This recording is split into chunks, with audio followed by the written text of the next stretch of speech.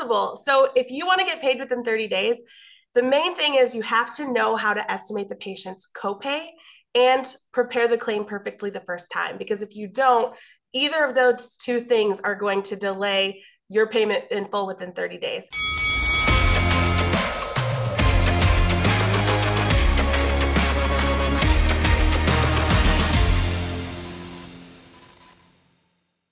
Hey, everybody, welcome back to Gloves Off. My name is David Rice. I'm the chief editor at DentistryIQ, and I'm here today with a really solid friend of mine, Bri Richardson. Hey, guys. Hey, Bri, how are you today? I'm good. How are you, David? You know, I'm doing pretty good. Where are you today? I'm in Texas. Ooh, I'm in Florida. So we're doing pretty good for winter, don't you think? Oh, we are we are so blessed to be in the South.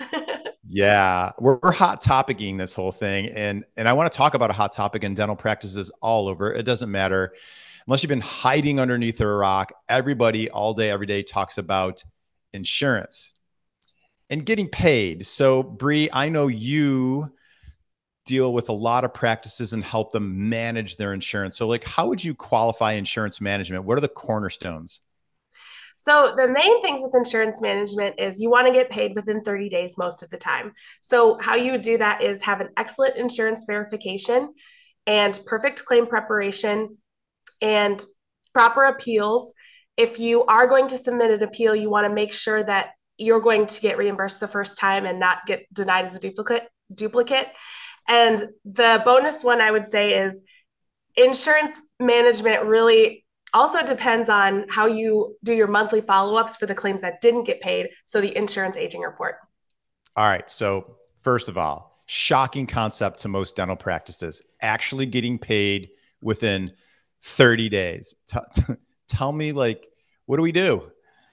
It's possible. So if you want to get paid within 30 days the main thing is you have to know how to estimate the patient's copay and prepare the claim perfectly the first time because if you don't either of those two things are going to delay your payment in full within 30 days. And I want to just put a little side note here.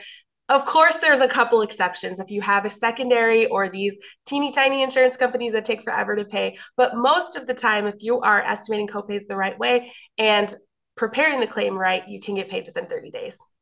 Ooh, I like that. And then you mentioned kind of like multiple layers to all this and getting it done the right way. Let's tackle them one at a time. So, excellent insurance verifications are they are the key to making all of this work. So, part of it is an eligibility verification, but then there's the breakdown. And that's going to look different if you're a general dentist or a periodontist or some type of specialty. Or sometimes general dentists do different things, like some of them do extractions and some of them don't. So your insurance verification isn't going to look like the dentist down the street. You want to have it customized and really distilled down just to what you need so that you can spot the red tape restrictions, which is what I define any code that's a covered code, but it's going to deny for some reason, like frequency or a missing tooth clause, anything like that. You want to be able to spot it at a glance. Okay.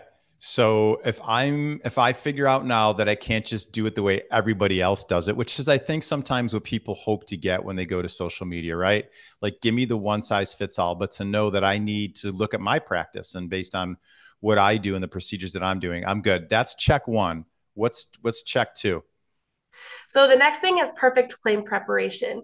There's a lot of um, insurance coordinators that are amazing and they absolutely care about their job, but they may not have been trained in proper claim preparation. So they don't always know what to attach on the first submission or maybe how to write a really good narrative and how to give the insurance what they need. Insurance is it's not just willy-nilly like maybe we'll cover your stuff and maybe we'll we won't it's there's a list of rules and if you give them what they need they can process your claim efficiently in the first time all right how about number three so proper appeals. There's different companies have these weird rules and things on how they want you to appeal their claim.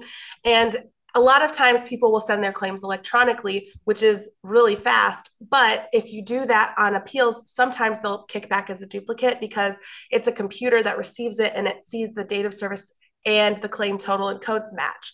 So if you get something you need to appeal, really look at that EOB. I keep a notebook and I just jot down like per insurance company their special rules. I'll give you an example. Some of them have a different address you need to mail it to.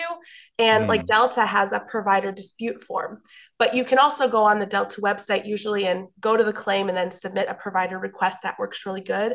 MetLife, if you put in the narrative or on your appeal letter, second level appeal on your first submission, that will get it pushed through. United Concordia, you mm-hmm. have to say first level appeal. And then if you have to do another one, you put second level review. And it's again, it's a different address.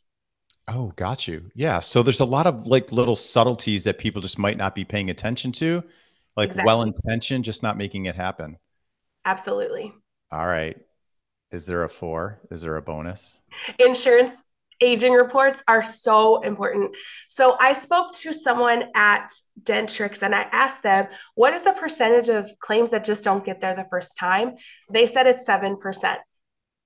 I think it's higher. but I don't have real data on that. But there are some times when you're submitting things electronically or mailing them, they just don't get there. So that's one thing. And then another thing is eligibility issues. If you didn't verify it on every single patient every single time, sometimes it will deny, but you don't actually get a denial. So every single month, print an insurance aging report. And if your software allows it, click view status notes so that you can see all of your notes and you don't have to pull up every single ledger on every single person. And every claim, at least once a month, just follow up with them and figure out where they are if they're over 30 days old. I love that. So, friends, if you're watching this and you're like most dentists and dental practices that I've met, at least in the last 29 years, and you want to increase your cash flow, you want to have better estimation of accurate copays, you want to like shrink your AR and streamline your process, Bri, how do people get a hold of you?